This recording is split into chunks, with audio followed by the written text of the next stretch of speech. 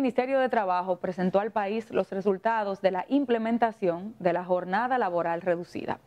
El estudio, coordinado técnicamente por la Pontificia Universidad Católica Madre y Maestra, ha arrojado resultados esperanzadores sobre el impacto de esta iniciativa. Este plan piloto, que merece ser aplaudido, no solo ha mejorado la productividad y el desempeño laboral, sino que también ha elevado significativamente la calidad de vida de los trabajadores.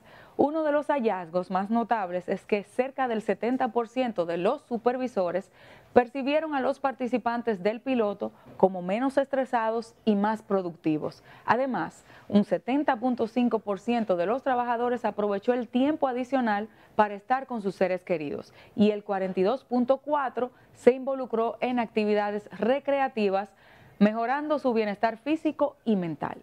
Estos resultados subrayan cómo el bienestar personal se traduce en un mejor desempeño laboral.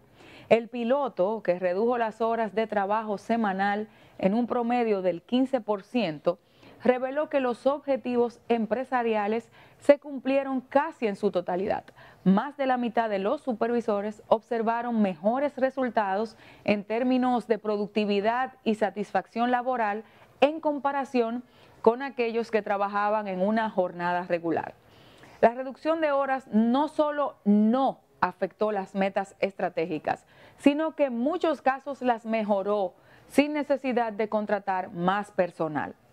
La evaluación técnica realizada por la Pucamaima destacó que el 95.3 de los trabajadores reportó un incremento en su calidad de vida y el 93.8 utilizó el tiempo adicional para otras actividades. Además, hubo una notable disminución del estrés y una mejora en el balance entre la vida laboral y personal.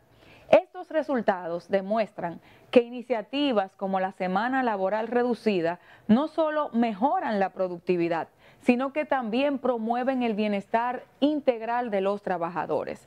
Esto beneficia tanto a las empresas que decidan aplicarlo voluntariamente como a la sociedad y reafirma la importancia de innovar y producir datos relevantes que nos permitan como país avanzar hacia un desarrollo cada vez más humano. Usted tiene la palabra.